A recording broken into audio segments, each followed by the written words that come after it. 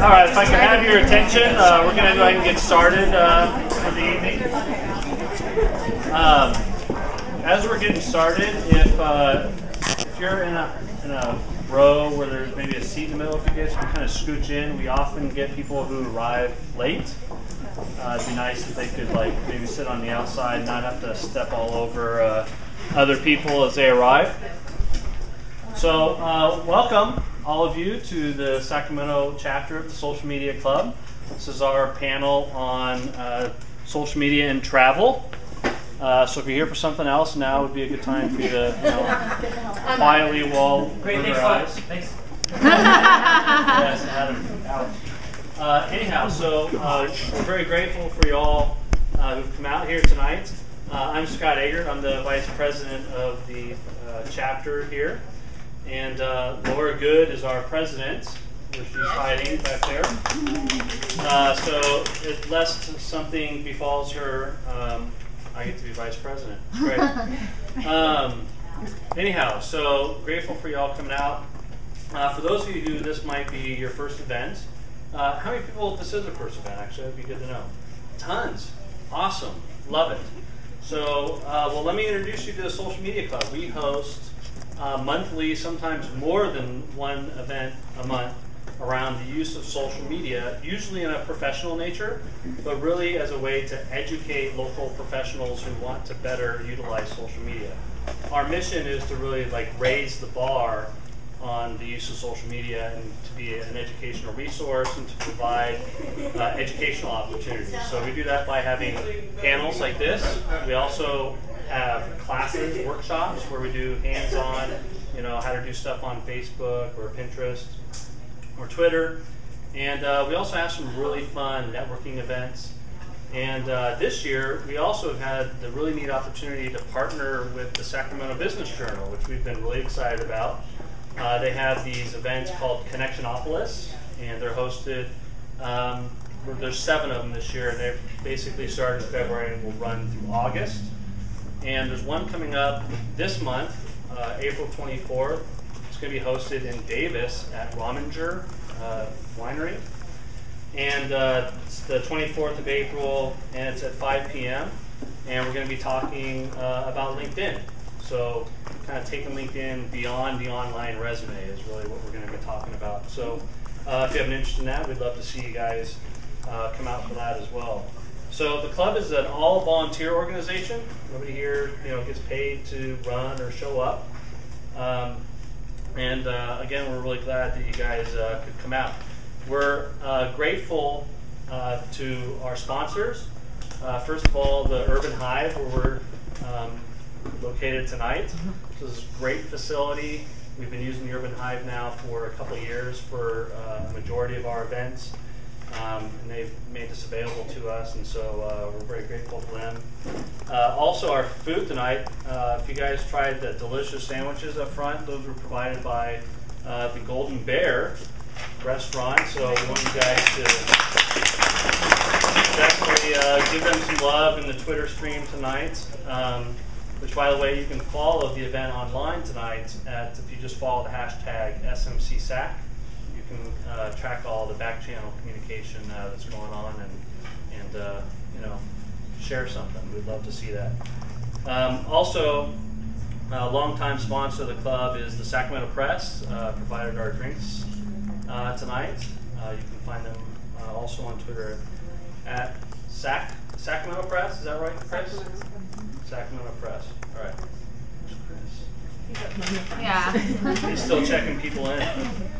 Excellent. Uh, so anyway, thank you to the Sacramento Press, uh, longtime uh, loyal sponsors of the club. Um, so without uh, much further ado, uh, again tonight we're talking about uh, travel and social media. Oh, the places you could go. I do want to thank tonight our program manager, who's Jamila Khan. Jamila, where are you? Yeah, there she is. Yes, we want to thank you, Jamila for putting this great panel together. And uh, our introductions tonight are going to be done by uh, our member, uh, Megan Emmerling. Megan is the marketing manager for the Downtown Sacramento Partnership. She's been a long time part of the Sacramento chapter of the Social Media Club. She's also going on a little sabbatical. So we also want to take the opportunity to thank her for her work over uh, the last couple of years. And uh, we're hoping she'll be back Of course, I'll be back. I'll be back. Anyway, so Megan's going to do the uh, panel introduction. Um. I want to introduce to you Lisa Martinez, our panel moderator this evening. Lisa is actually my boss at the Downtown Sacramento Partnership. She is our um, director of marketing and outreach. And uh, our team manages a lot of uh, just communication about downtown Sacramento and all the things that are going on. So uh, we like to call Lisa downtown's biggest fan. She always knows what's going on uh, in Sacramento and is really excited to tell everybody about it. And she's not a Sacramento native, so she's from Chicago. So she kind of gives that third party endorsement of all the great stuff that's going on in downtown Sacramento. So Lisa, I'll hand it over to you to introduce the. Uh, well, so we have a really great panel uh, for you guys here tonight. Uh, forgive me, they've got some great bios. So I'm going to read to you a little bit, um, and from there we'll go from there. So I'd first like to introduce uh, Christine Amorose. Um, s- she's a Sacramento uh, native and a full, full-fledged Francophile. Um, she's an aspiring street art photographer and a semi-professional beach bum. Um, since earning her degree in journalism from California State University in Chico in 2009, she's backpacked solo through Europe, bartended on the French Riviera, worked in marketing in Melbourne, and ate at many street carts in Southeast, Southeast Asia. I know she just got back from a couple of big trips, so I'm insanely jealous of her. Uh, she's traveled extensively throughout Europe, um, Australia, Asia, all while eating, uh, writing, tweeting, and Facebooking her adventures as a travel blogger. Uh, you could follow her at Camorose, uh, Cama um, on Twitter. Yes, C A M O R O S E. Um, and then our next panelist is Christy Jordan. Uh, Christy is a travel industry veteran. Uh, she uses social media to chat about travel, wine, and daily life. While many in the travel business saw the proliferation of online travel agencies as the beginning of the end of their careers, Christy has truly embraced technology. Um, she uses that. She uses that one, uh, just one more tool in her arsenal to deliver personal service and create and create value for her clients. Um, she could be found volunteering at her son's school or, uh, or Cub Scouts events, watching her husband's band play, and tasting at her favorite local uh, wineries. Uh, Julie Gallagher is our next panelist. Julie uh, is a jazz singing, baseball loving search engine optimizer who's been travel blogging since 2003. Um, she's a former travel agency owner, um, and her goal is to help travelers connect with the independent and quirky businesses that make a destination unique. Um, at thingsyoushoulddo.com, uh, her website, you'll find links to hotels, restaurants, activities, and spa, uh, spas that she loves. Um, she's a social media consultant for the number one destination spa in the world, uh, Rancho La Puerta. Uh, you could find her on Twitter at Julie Gallagher or on Pinterest at Julie March. Marge? Yes. Uh, Ryan, uh, Ryan is our is the owner and president of Moraga Travel. Uh, he's a, which is a boutique travel agency in Moraga, California, um, and a MediaNet Link, um, a web a web development firm and creator of Con- Contact Beacon, um, an email marketing system that focuses on the travel industry. Industry. He is also the vice president of the American Society of Travel Agents Young Professionals Society and was named ASTA's Young Professional of the Year in 20, 2011. Kind of a busy guy there. Um, as father of three young boys, Ryan likes to say that he travels the world viewing it from the tech geek dad perspective. You could follow him on Facebook at Ryan McGrady or on Twitter um, at Ryan McGrady as well. Uh, he likes to use both platforms to tell the world what he's having for lunch and when he's going to the bathroom. there. Gotta follow Ryan. There you go. Um, and finally, we've got Lucas. Um, Lucas currently serves as the online marketing manager for the Fairmont San Francisco in Fairmont Newport Beach. In addition to managing paid and organic search marketing efforts, he is also responsible for social media marketing. This includes strategy and execution of social media efforts. Um, he also earned his MBA from, in marketing from USF. You could follow the Fairmont San Francisco on Facebook at Fairmont SF and on Twitter at Fairmont SF as well. So those are our panelists.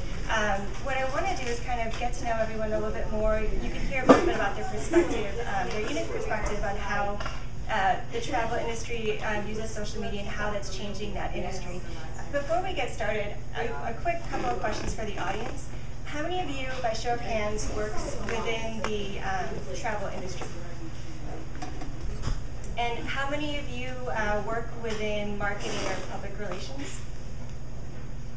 And one last question. How many of you are brand spanking new to social media, don't really know much about it, but are just starting to get your feet wet? Raise your hands. Well, welcome to all of you guys. Um, I think I'd like to start off just with each one of you guys, just to find out, on your day-to-day, you all have each very unique perspectives from travel blogging to uh, working in, you know, with travel agencies and within um, hotels and destinations. Tell me how you use social media on a day-to-day basis um, within the context of your job and travel. Start with you. Um, I use Twitter pretty extensively just to promote my blog, um, maintain relationships kind of with other bloggers and with readers. Uh, that's a lot of how I communicate with my readers. Facebook as well to kind of get a wider audience for my blog. Um, and now Pinterest is definitely growing as a way for people to find my site. But yeah, I tweet, I Facebook, I check in all day long. So Instagram now. And Christy? Um, I use Twitter just about every day for a myriad of things. I know the more I tweet, the more the name of our brand gets out there, and nothing makes me happier than to be at a bridal fair at a function and someone say, Ships and Trips, I've heard of you before. And I was like, my work is done. But otherwise, I use it personally to connect with other local businesses. We are a small, independent Sacramento area businesses. We love to support the same. So if a favorite restaurant, winery, if the uh, Chevy dealership in El Dorado Hills has a special, I retweet and share because I feel like we're all in business in town together to support each other. Great.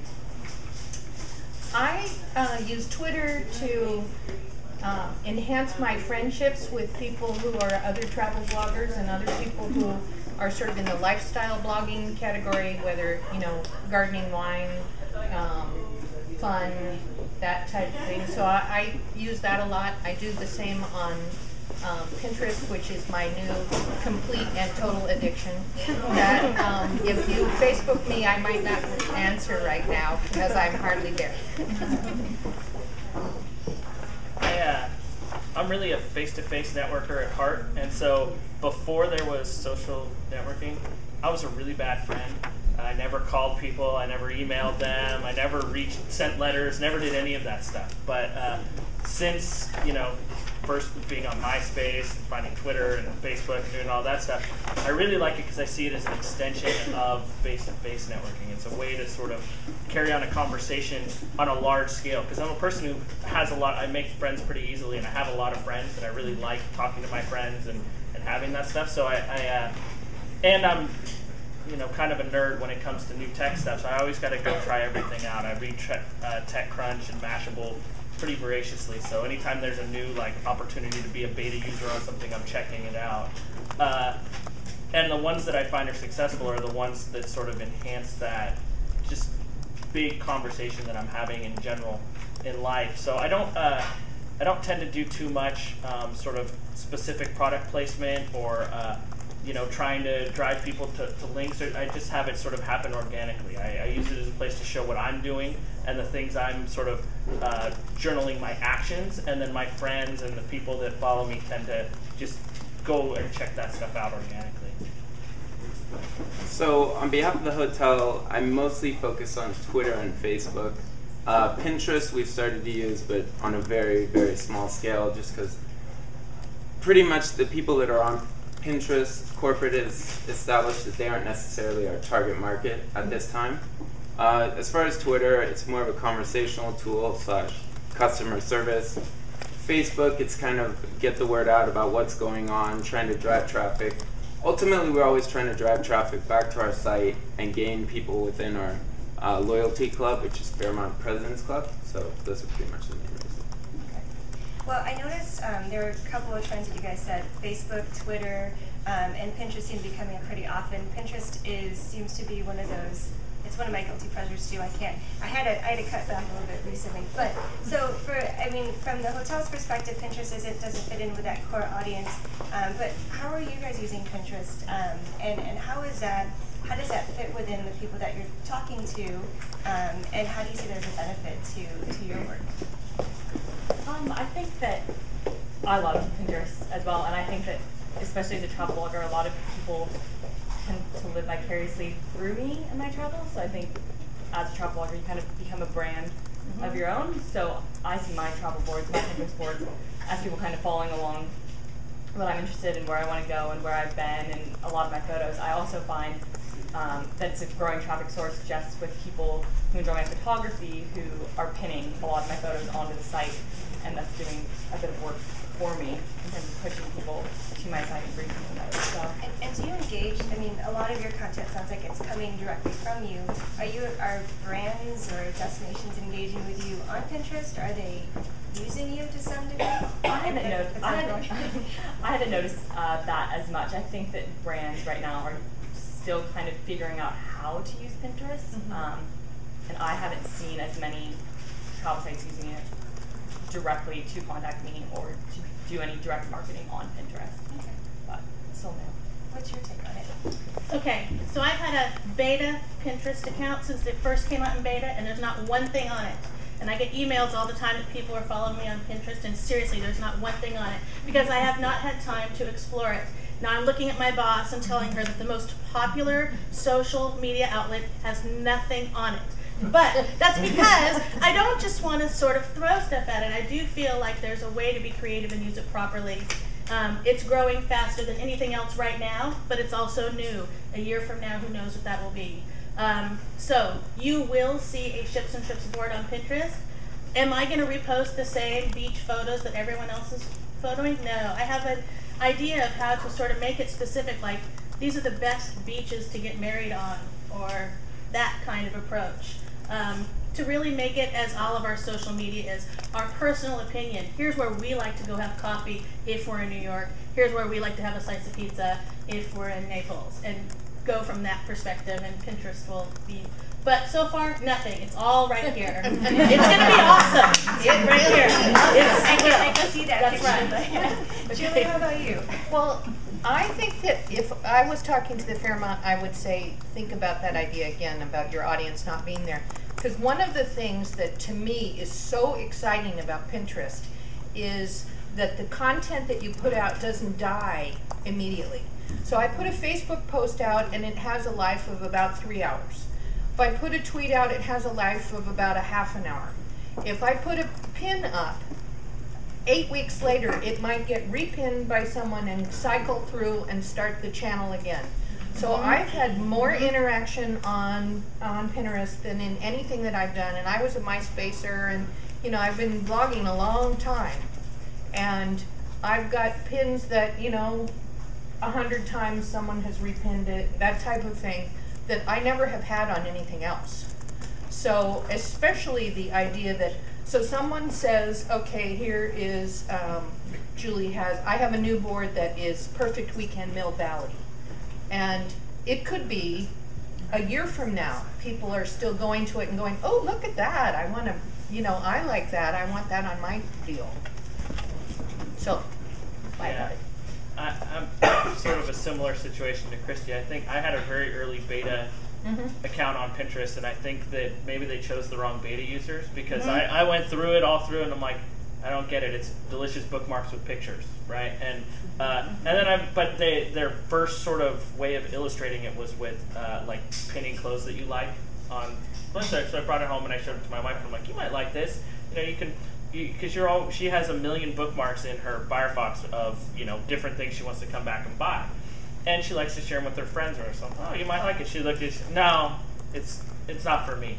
Well, now it's all she does. On Pinterest. and it's because she um, she's like, you got to see this site that my friend sent me, and shows me. I'm like, what? What do you mean? I just gave you a beta invite to this site like a year ago, but it can't. But I, I agree. I think uh, it's making me relook at it because you know you look at all of the um, research we look at from a, a travel business perspective, from a travel agency perspective, and it says all the vacation decisions get made by the women of the household that are between a certain age demographic. So for us, that's our target demographic is my wife, you know, and, and her and all of her friends love it. That's they're on there more than Facebook now, and uh, so yeah, I'm definitely I'm in Christy's camp now where I'm starting to have ideas and say, oh, I need to come back and relook at that as a platform that uh, that that we need to look at. Maybe your wife can do it for both of us. well, and I think there's something to be said about um, making sure you have the right content for the right media.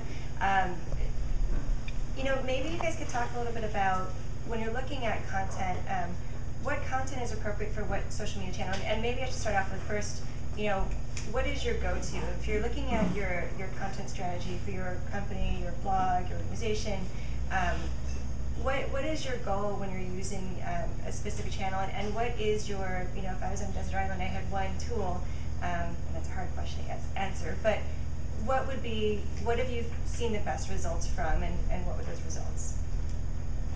That's a tough question. Uh, we basically apply different strategies for the content to the separate channels. Uh, with Twitter, it's more of a conversational slash customer service tool. Generally, people will tweet at the hotel before they arrive, or if they're having any uh, issues while they're there, or even post stay.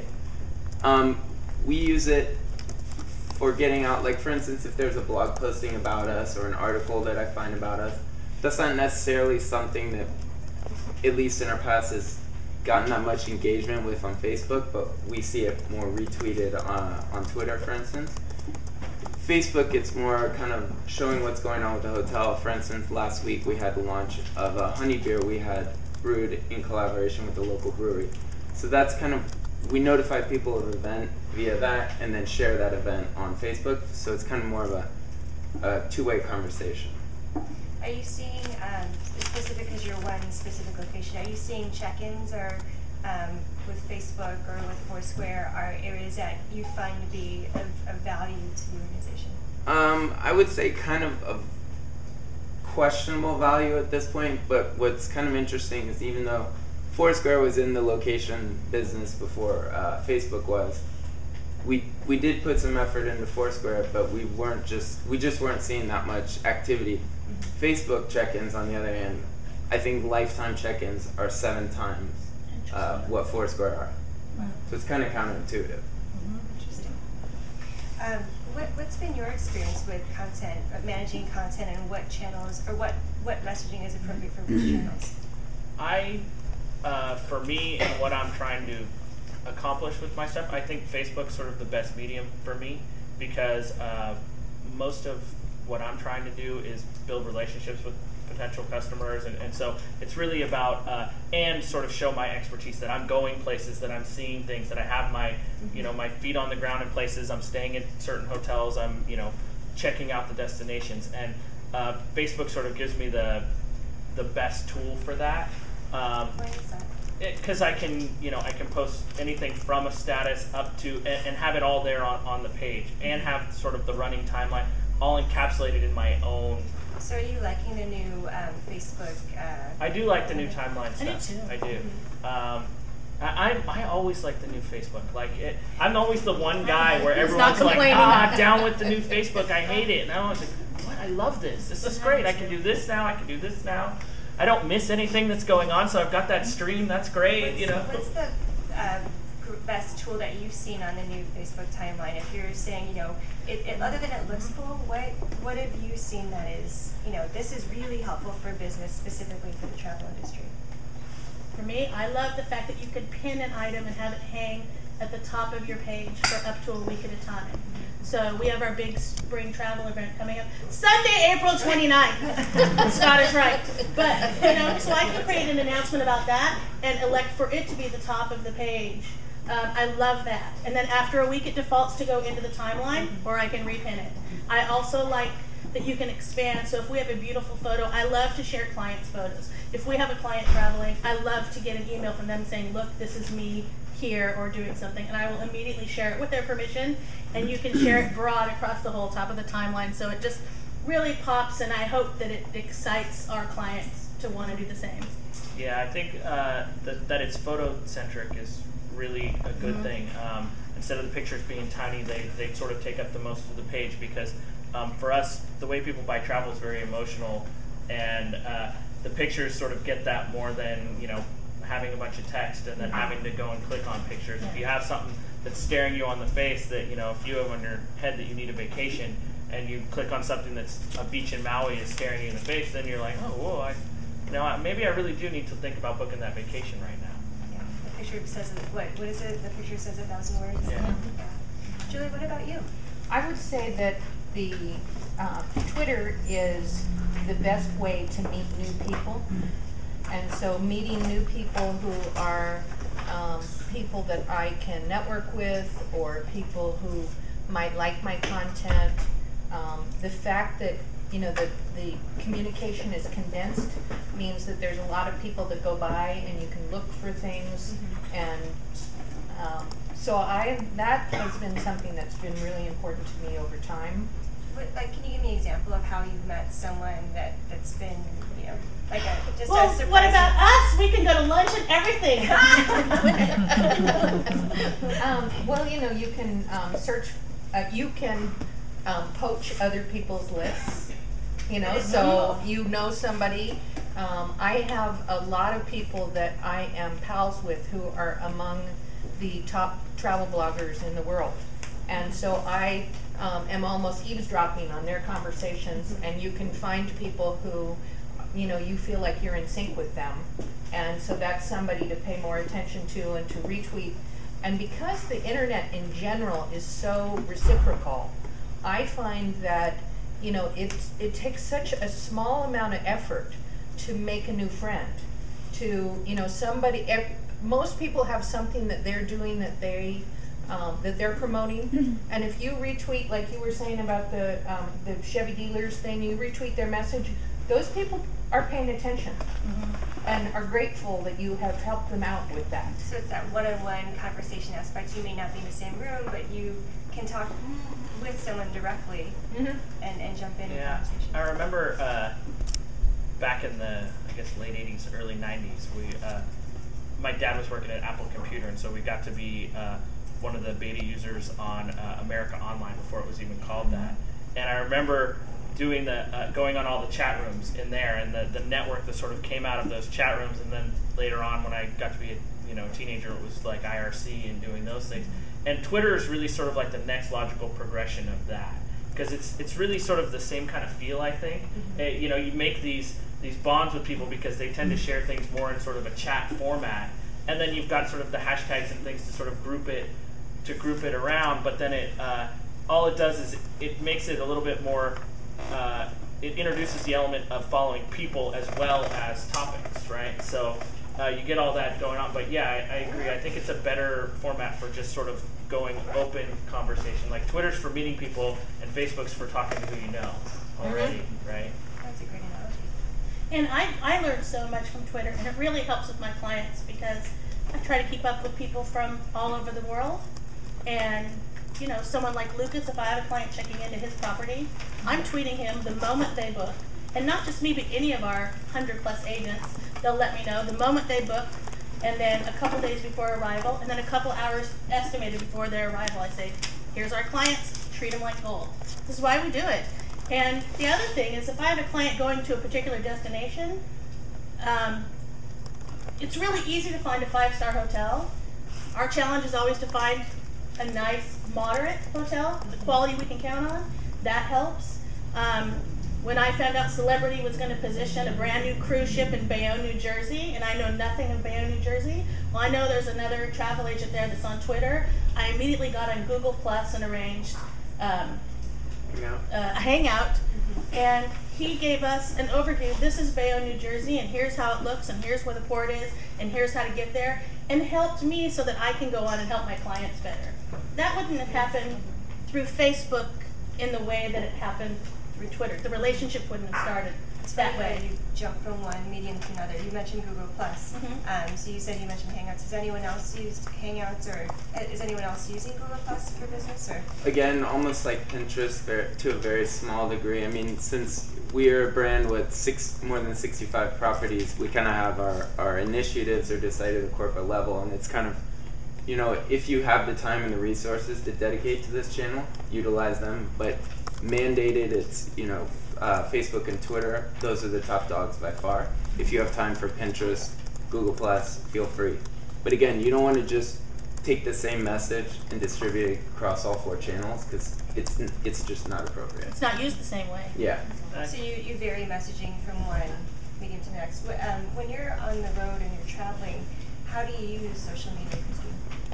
I have definitely I've used Twitter to meet people. A lot of times I'll put out like, you know, I'm in this city now. Does anyone have recommendations? A lot of time people will come and say, Oh, check out this restaurant, go to this cafe. Isn't that amazing? Other times people say, I have a friend who's there, or I'm living there. If you want to meet up for coffee, so I've met a lot of people through Twitter. Yeah. Um, I also, I mean, I do couch surfing and a few other kind of websites like that where you meet people. But Facebook, I definitely keep Facebook to my real life friends. Um, and I do have a page that I just kind of share kind of what I'm doing. Um, but yeah, like I said, I think a lot of people follow me and they want to kind of see what I'm up to. So I try to be very um, prolific with updates on like Instagrams and check-ins so that people can see what I'm doing and where I'm going and that I'm taking their tips. Well, you know, that's a, a good segue. Maybe you could tell us a little bit how you got into um, travel blogging and, and a little bit more about, um, you know, how that progression started. Yeah, I right after I finished up at Chico State, I took a backpacking trip around Europe by myself for five weeks, and I had a very dear mom. This is what I did today, sort of WordPress.com blog. Um, and when I got back and started working in Silicon Valley, a lot of my friends said how much they really enjoyed reading it. Um, so when I did decide to quit my job in Silicon Valley to move to France, which had been a dream of mine, I was kind of like, might as well take it to the next level, see what could happen. I'd started following a lot of travel blogs and had started interacting with them, and on Twitter actually, and it kind of just seemed like the next logical step would be to start blogging myself. And that was two years ago. Um, and since then, I've lived in the French Riviera, uh, I lived in Australia, and I traveled around Europe and Southeast Asia um, and Australia. So it's kind of just grown along with me in a very nice way. And what, um, what, what, i- what's your typical day like as a travel blogger? What is that? What does that end up like? And who do you interact with? Uh, I tried to wake up early and go on Reader and go through all of the blogs that I follow, uh, respond to comments, respond to tweets, reply to emails, get all that out of the way. Like a business. Yeah, I do all that in the morning so that I can go and enjoy wherever I am. Um, like I said, I just got back from a month in, 10 months in Australia, a month in Indonesia, a month in Thailand, and a month in Vietnam. So every day was very different. It might have been doing a cooking class or going on a bike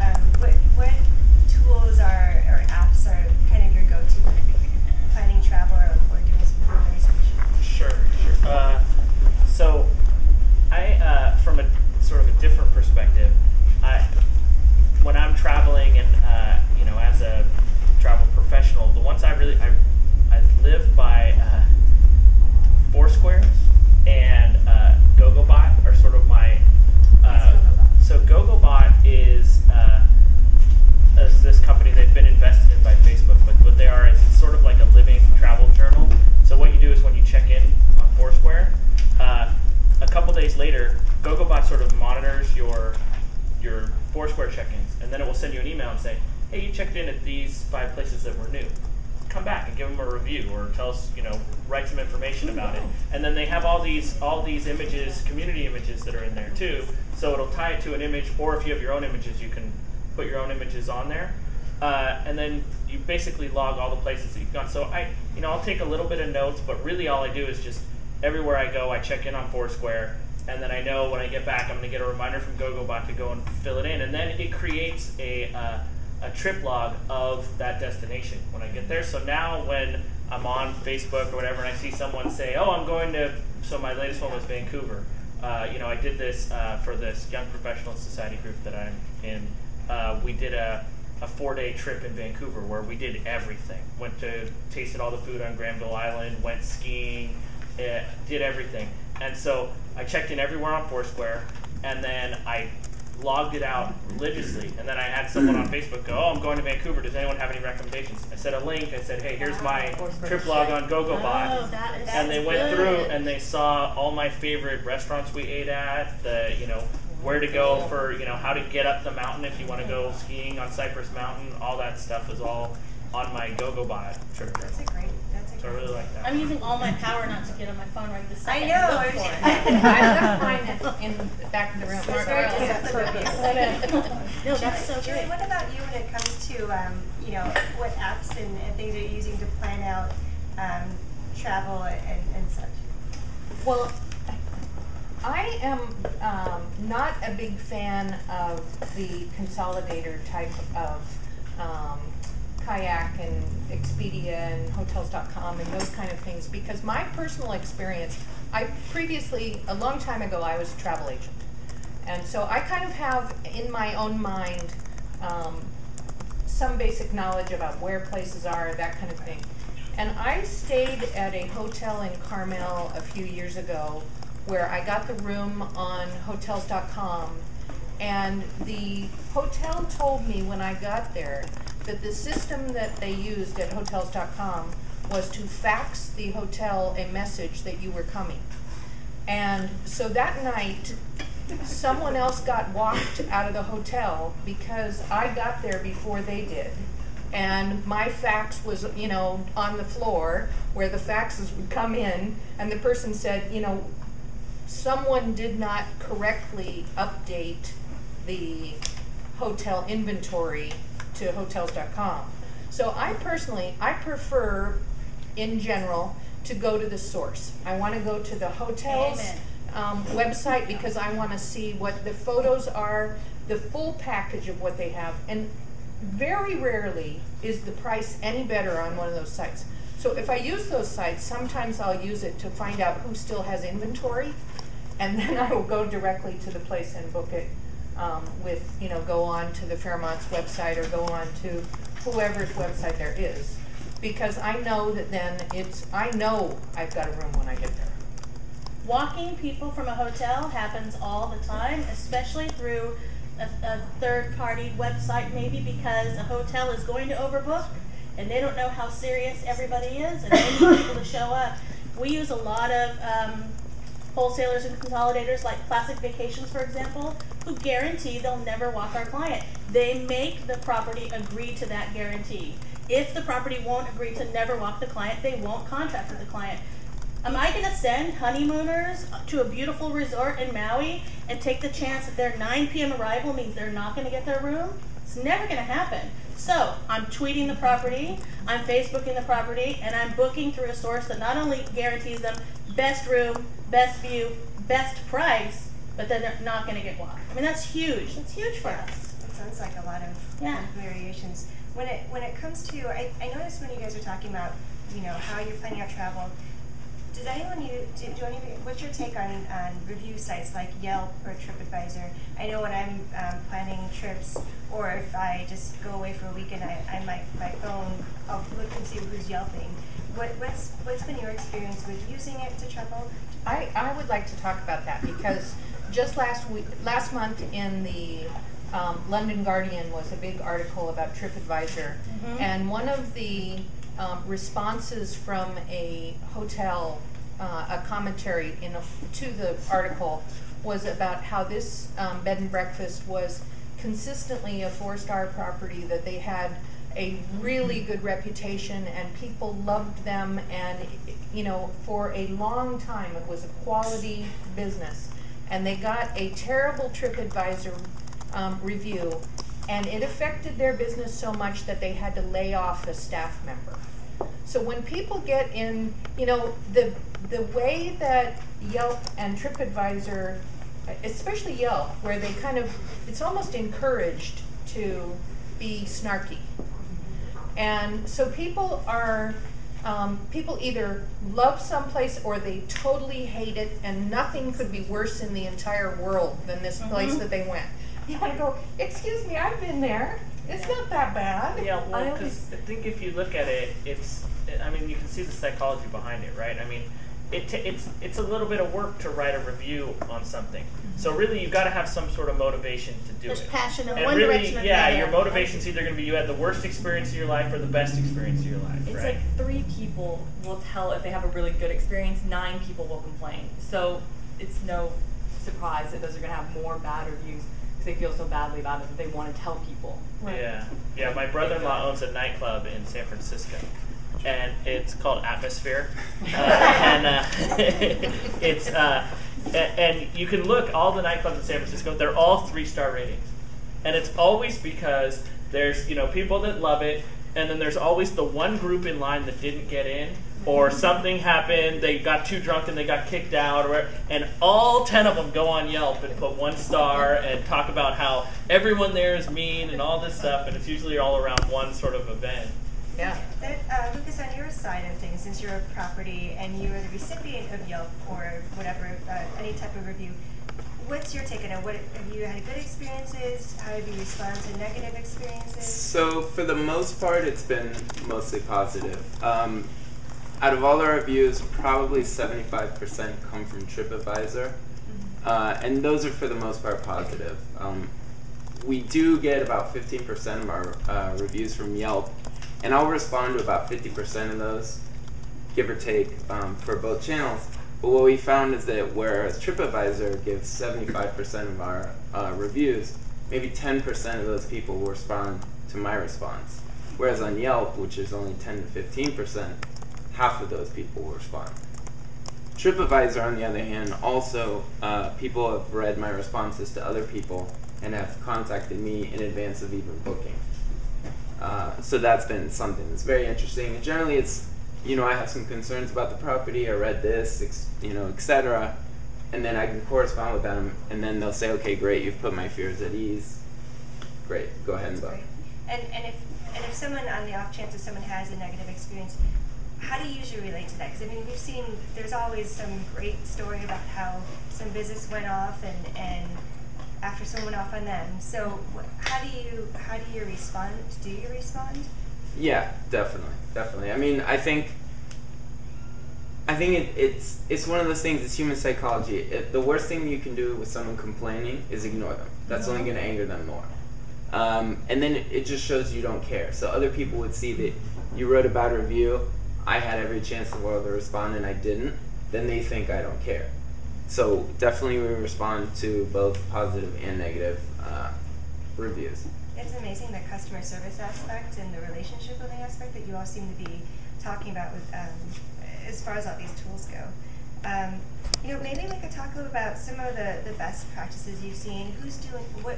Maybe um, either give me an example of, of people that people or companies that you think are really in the travel industry, really doing it well, people to watch, or some great experience that you've had from your own personal experience.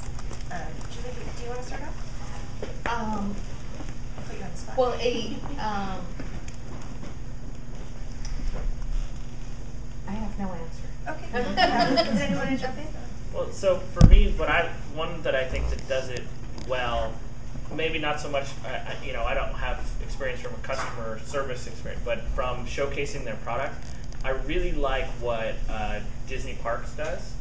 Uh, they do because they're a massive, massive company. You know, one of the largest companies in the world. But their Facebook stuff is so personal and so sort of small scale.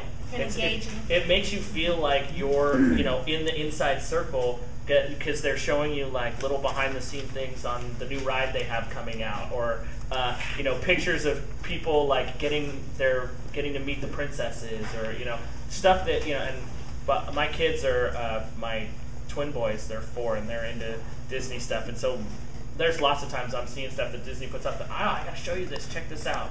Uh, my one son, he loves all of the Disney princesses. It's like his, they're, they're the greatest. And so whenever there's like neat stuff with princesses, he's always like, "Oh, that's so cool! Can I print that picture, Dad?" And Ryan, whatever. hate the player, not the game. exactly. On a local level, I've actually never stayed there, but I follow the Citizen um, Oh, yeah. on Twitter and their blog. I check out their wedding blog every once in a while just because it's really pretty.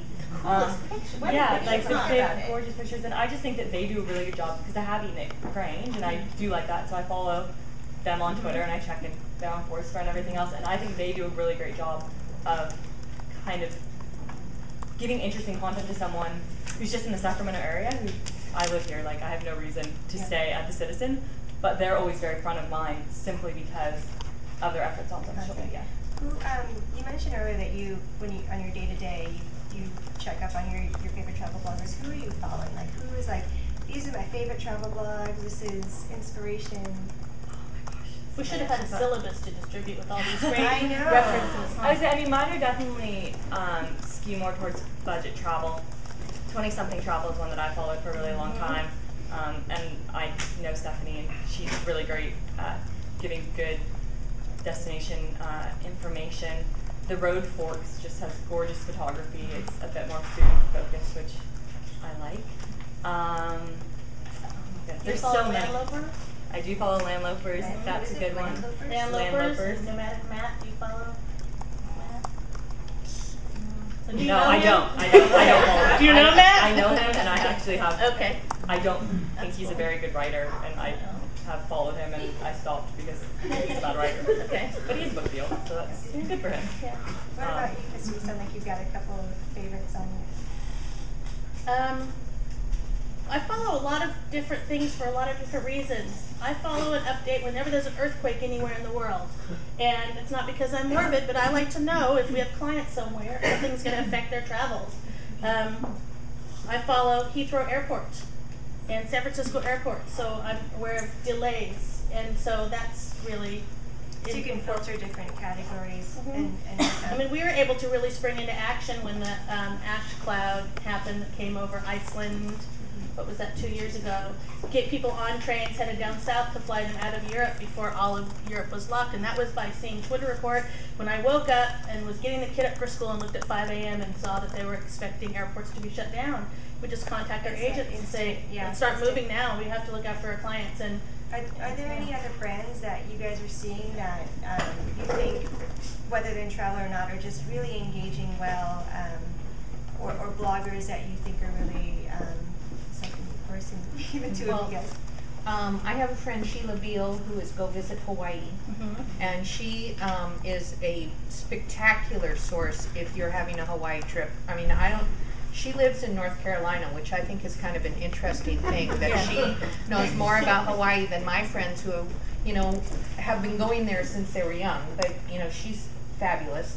Another friend of mine is Beth Whitman, who has Wanderlust and Lipstick, which is a um, a large site and specializes in um, women travel, and she um, particularly leads tours like to Bhutan, and so she's, um, you know, she's kind of a, um, you know, outdoorsy, exotic type of thing, and sh- she is also the person that is the um, one of four people that started the Passports with Purpose um, fundraiser that um, this year um, built um, two or maybe three. They raised we raised enough money to build multiple libraries in Africa. They built a village. They I mean it's it's this really fabulous program. So through that group I've met a lot of people and and on their Passports with Purpose site is all the people who contributed. So I'll sometimes go through and just click on people that, you know, and meet new people through that. So I'll just say you're in it. one more that I remember that's one of my favorites. She just doesn't post very often, so she's not top of mind. But Legal Nomads, if you're looking for amazing travel writing and really good travel photography, it's Yeah. gorgeous food photography. And I met Jodi in Thailand, and she's They're called legal nomads? Legal Nomads. Yeah, she used to be a lawyer, and she's been traveling for four years. But that's one I highly recommend. Sounds like a good life change. Um, Lucas, how about you? Any any ones that you are following that in the industry that just kill it? Um, in the industry, one one that's I've been to other conferences and they've kind of been identified. Their nickname, they're known as the social media hotel, is the Roger Smith Hotel in New York. Um, one of the things that they talk about that they do is they don't have just a single voice for their social media presence. Um, they have a guy who that's his specific job, but then they also have a concierge that posts, a bellman that posts, you know, a housekeeper that posts. Is it a different um, is it a different name or do they have like different tags? for No, different- just in um, within within their Facebook page. I know on, on Twitter they identify themselves. I honestly don't remember if they do on Facebook. Um, but they, whereas I generally try and stick to one post a day. Uh, sometimes they'll post upwards of four to six times a day. Um, another one is Virgin America. What do you like about Virgin? Their responsiveness and I, by nature I'm pretty well snarky would be a good word. um, but I, I just like the irreverence of it. Um, yeah, the tone exactly, and and the speed with which they respond, and they incorporate. They try and incorporate their their uh, crowd as much as possible. You know, with things like having their uh, their fans name their plane, etc. Running flash sales for an hour. Are they the that kind of- ones doing the um, who's doing the beer? Yeah, that's Virgin. Right? Yeah, I should know. Virgin Australia is the same. If you ever go to Australia, they're a great airline to fly, and they're great on Twitter, very responsive. What about you, Ryan? Uh, well, I, li- I, am the same way. I like this dark. I like the funny stuff is what sticks with me. Funny, Yeah, quirky, unique. Um, I get bored. Like I see so much travel stuff and everything all day that I get bored with just the same pictures and content and information. But the stuff that sticks, like I love Banff Squirrel. Uh-huh. Do you follow her? Like yeah. I absolutely love that, and I love like she's so clever. Like the the whole thing when the the New York Zoo python escaped, and so then she was hiding and stuff. I mean, that was awesome. I'm not familiar with that one. Is that It's so it's the for the point of Banff? Tourism Board, I think that that's the what spawned, but it's yeah, it's from the point of view of a squirrel in Banff, and Is so that the one with the photo bomb the couple? yeah, yeah, yeah. And the squirrel changes outfits Yeah, occasionally. They sa- and Uh, celebrate the, the squirrel's really weird. It, it totally thinks like a squirrel. Uh, so I like imaginative things like that, where it's uh, you know it's more than just you know here's information or here's whatever. It's from sort of a, a, a certain perspective, and then it tries to be kind of funny or different. it's great. And Uh, then I just want to mention yeah. the Gem Hotel in New York. It's a few gems, but the Gem Hotel in New York will have give up their Twitter to um, celebrity guests. So they'll say, "Today, Brian Posehn's operating our Twitter account" or something. So usually a stand-up comedian, and they'll just once in a while blast out something like, uh, "You know, we're not responsible for what he's saying," and it's really funny and totally silly. But I love following that. Yeah. So, so how do you go about developing your own voice? If you're new um, to to using social media, or you know your your company has just finally said you can go ahead and use these channels, how do you start to, to develop your voice? Um, or as a blogger, how do you start developing? You know, what tone? What do you share? How do how do you best manage your time on on um, that? And and you honestly, it sounds like a lot of people that you love following, you actually enjoy it, and there's an element of fun to it. So how do you establish that? I think one of the best things someone who I met via Twitter ever said to me in real life, she's like, you sound just like you do on your blog, like in real life. You sound the same way, you write the same way that you talk. And to, for me, that's always just been how I want to be. I want to, I never want to be surprised when people meet me in real life and be like, oh, that's who I've been reading like for years, really? um, so I just try and be, yeah, as me as possible. And I've been doing more posts lately that are can I don't want to say funnier, but kind of more a look into my life, less of just like, oh, this is where I went. And people are responding a lot, really well to them, and you know, saying that was really funny. Oh, all right, fair enough. So doing more of that, just trying to be myself, for better or for worse.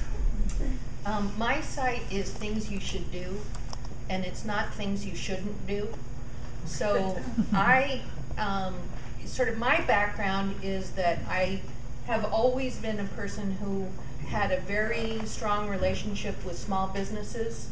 And so I only am positive. If, if I only write about places I like, I write about places that, you know, enthusiastically about what they're like. If people, I'm not particularly interested in providing a platform for people to criticize businesses. So that's not my gig is how to, you know, if someone writes a bad comment to say, you know, I just erase them. This is my house and you can't come. You're not invited to come and do that. So um, I, um, I sort of was inspired as I'm kind of the anti-Yelp. That was what inspired me was people are too mean, and I, um, you know, that's how I am in in life, in or I try to be, and you know, people. I get crabby too, but you know, in general, that's not what I want to So it's still kind of an Emphasize. extension of you. you yeah, you, I mean, people you like know. People know that I'm like, oh, this is so great, and you want to, you know, that's how I am.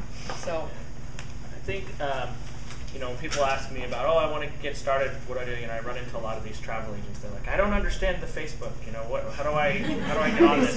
or you know, uh, or this tweetering, or you know, they're- that, all these. thi- And so I always tell them three things. One is, you know, screw being professional. You know, be yourself. Uh, professional is boring. You, you know, if you're professional, sterile, nobody wants to read that. They want to get to know you. So, you know, being personal is important. Have a goal. Like, figure out what it is that you're, why you're going to be on there. If you're just going to go and be on Twitter because you heard other people are on Twitter and so you want to go be on there, you're going to fail miserably.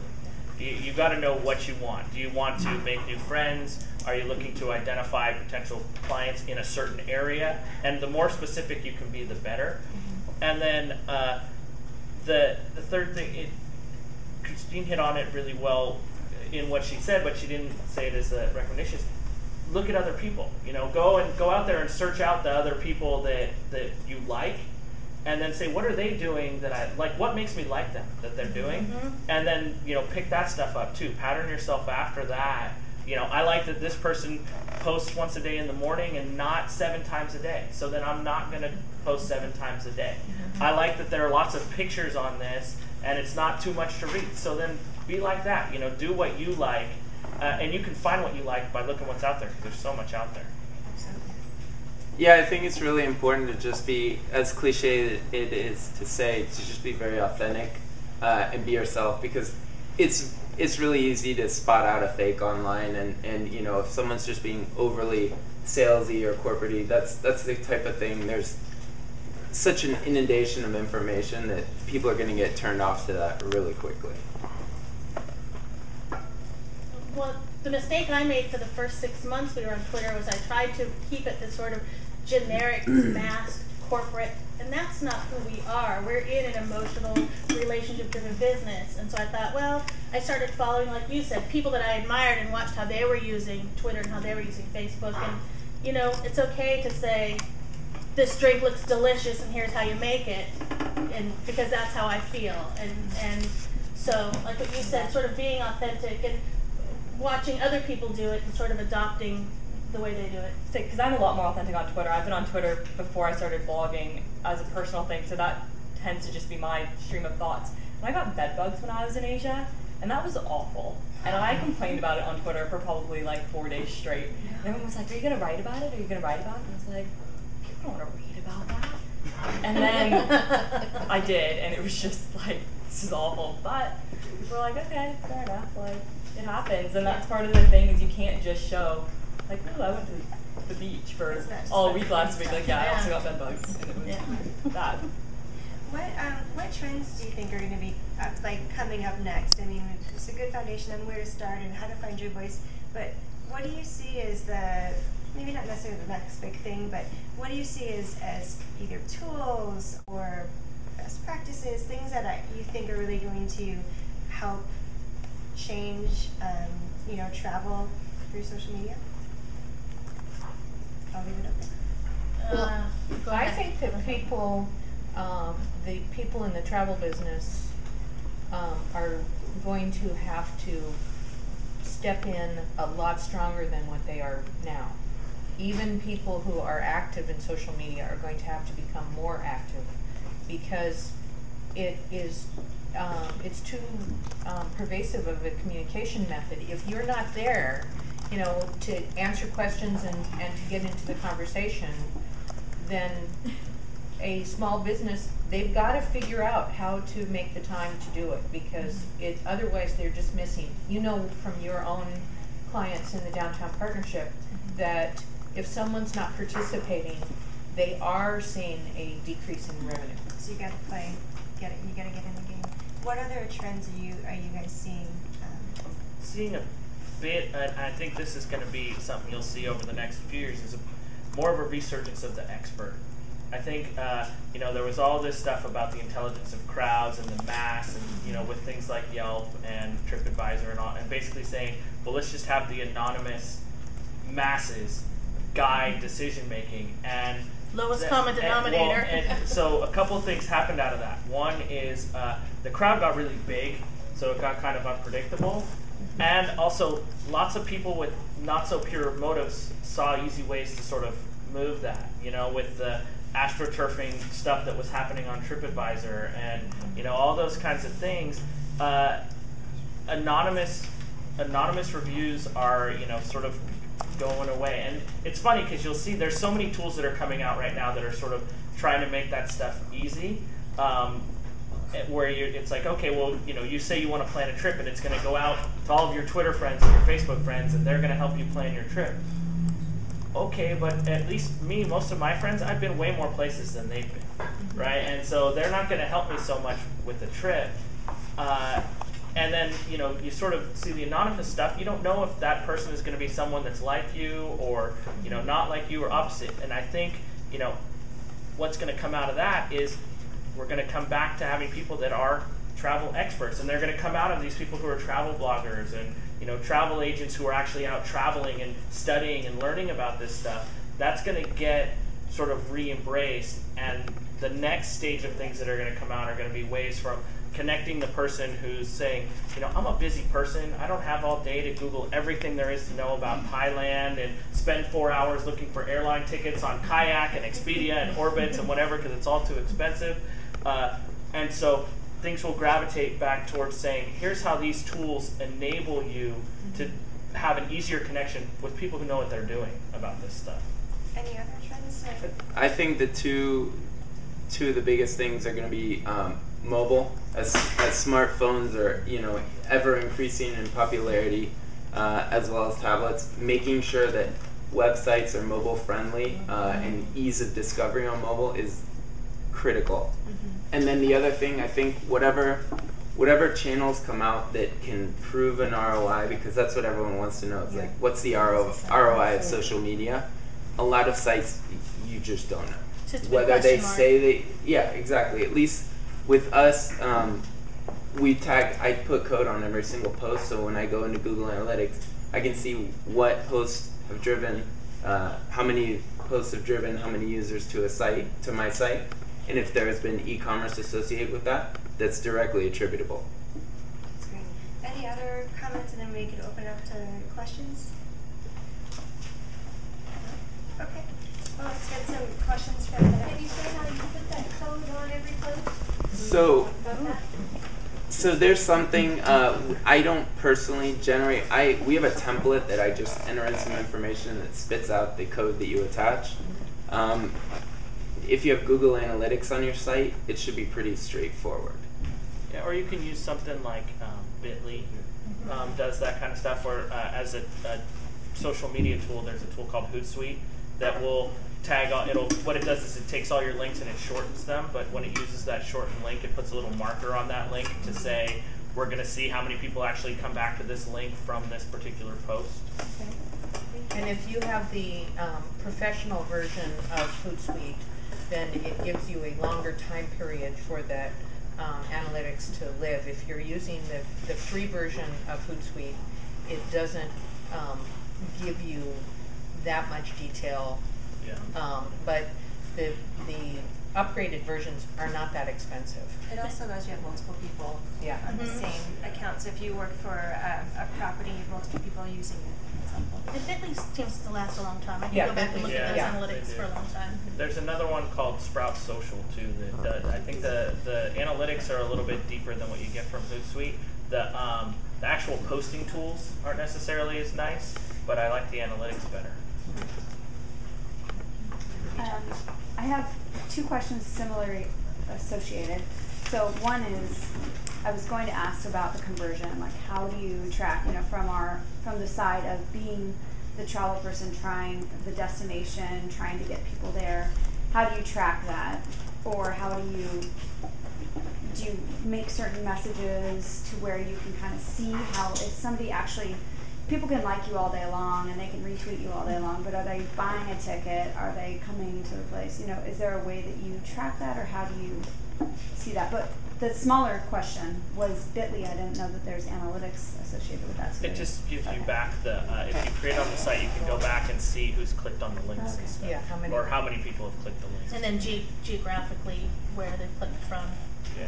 If, in answer to your question about um, tracking the um, the ROI on the tools, I think the the hardest part about um, the tracking on travel is that most people um, have a longer time period that they think about where they're going to go, and so you know if I write a blog post, it might be something that um, you know, a year later, person is going to take action.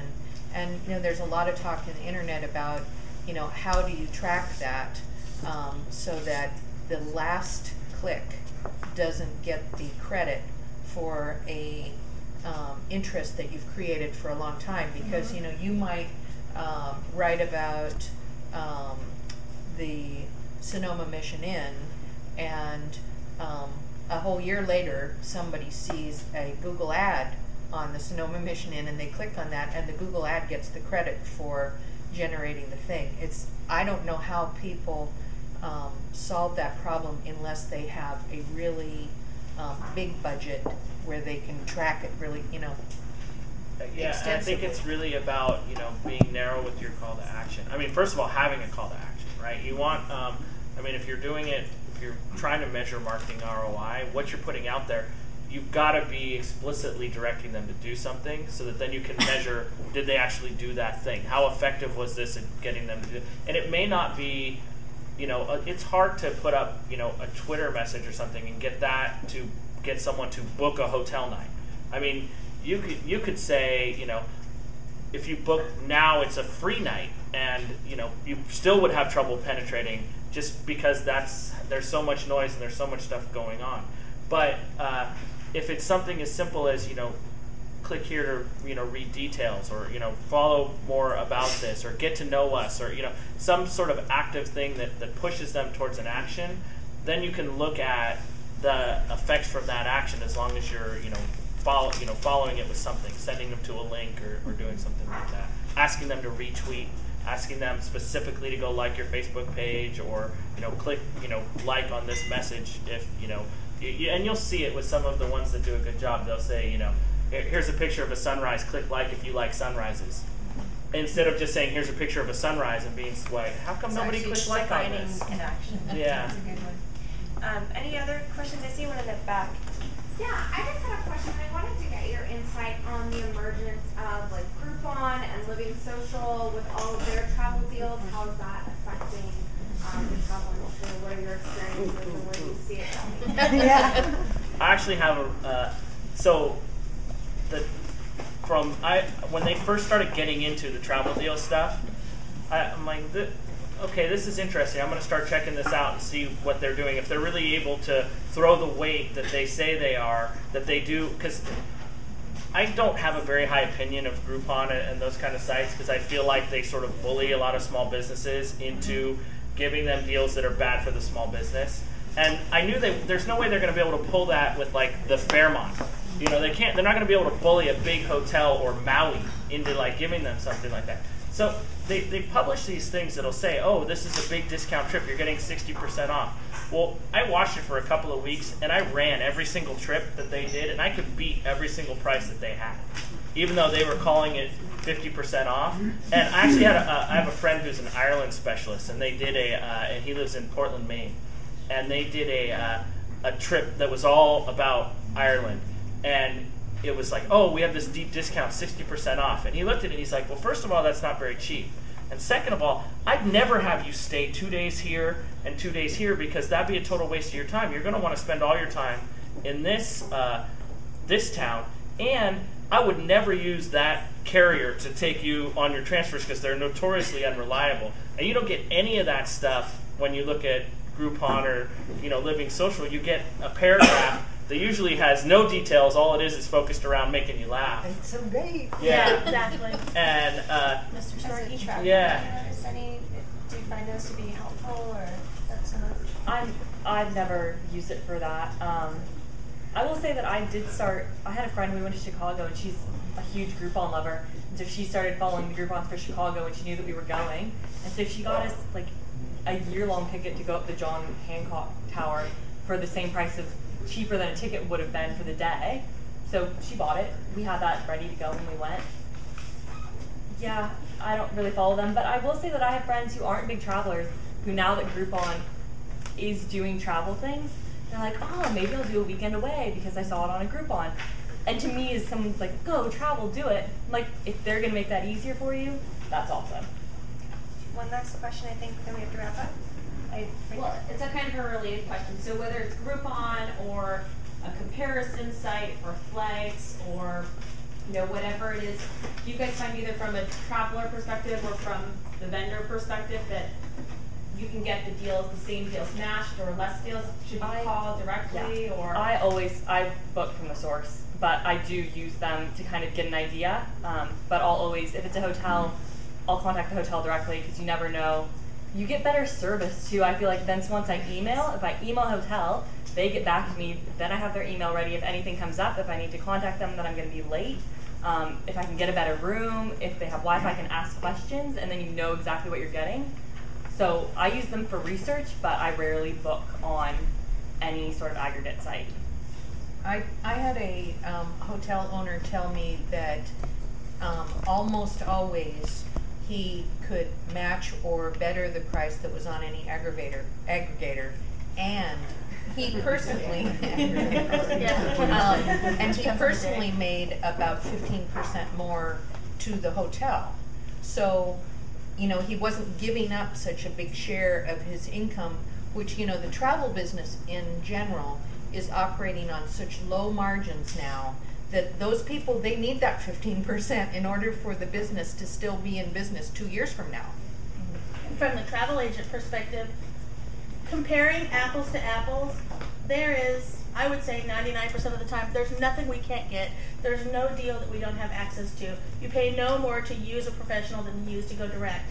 Oftentimes we see some magical price and then look at what it really includes and find out that it doesn't include the $75 each way cab ride to and from the property, and ours might have come out $35 more, but ours includes that transportation. Um, there's such parity within the travel industry. Cruise lines aren't going to let a website undercut hoteliers. I mean, Lucas doesn't want anybody undercutting them, and they'd like to know that the person they're booking is serious. And so, from our perspective, there's just nothing we can't get, and we're really careful about looking at all the details to make sure that the price quoted is really the bottom line, the true bottom line. Well, and I'll take that one further. For uh, I was reading an article talking about uh, travel suppliers' relationships with travel agents. It's sort of this little known secret that people don't really know is businesses cater towards their best customers, and travel suppliers' best customers are travel agents or, and the people who book through travel agents because they actually have real finite data that shows that people who book through travel agents tend to spend more when they're on property. They, uh, you know, they're they spend they tend to buy higher rooms. They so they want to cater to the travel agents. When we call them up, they listen. They do stuff for us. Uh, if you if you're calling them directly, they're not they don't re, you don't have the kind of leverage we have because you're you know you may come back there again some other time in the the future, but you don't necessarily represent extra business whether we do through our agency or you know if we're part of we're part of a larger buying group that uh, is actually all North American. So we have that kind of leverage to, you know, so we can always get you whatever price you're seeing online, that kind of stuff. But then we also, uh, on top of that, we can usually leverage them to throw in things like breakfasts and spa credits and those kinds of things because of our relationship with them. I mean, they're uh, they're coming to us. They come into my office and say, "How can you know? How can I get more of your clients to come to stay at my hotel or whatever?" And so then they're offering things up to that. I don't think people really realize that. Well, it, you know, I, I think that sounds like some great insight that we all can use for traveling, planning travel, and, and looking at different opportunities. Um, it looks like we're about out of time, and so I want to, first off, before we finish off, thank each of our panelists. You guys have been fantastic.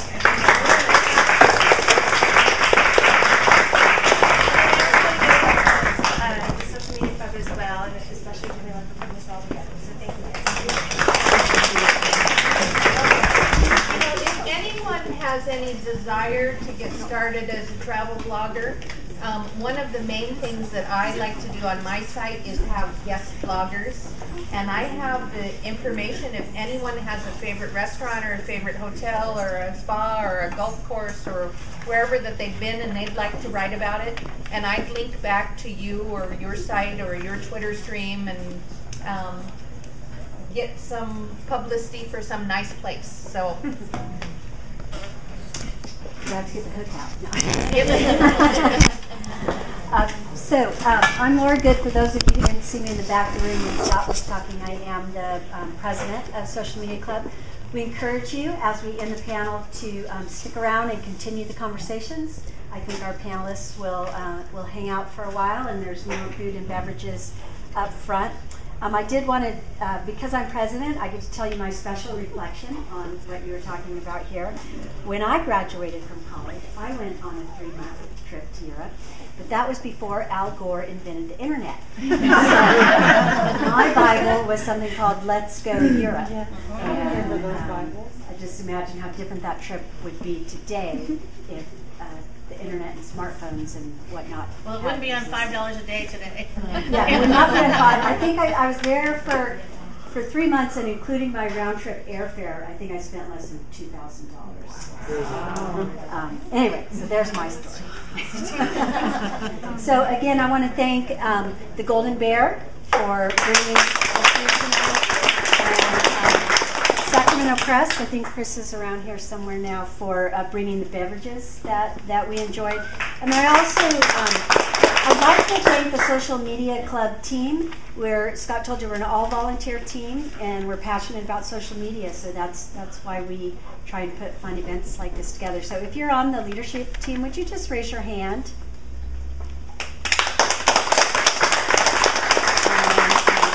A, a special shout out to Jamila. This was her first panel discussion that she has put together, and I think